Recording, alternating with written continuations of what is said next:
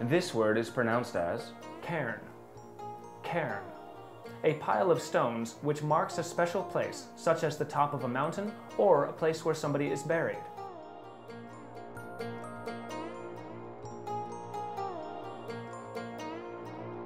For more words and meanings, click and subscribe to Word World.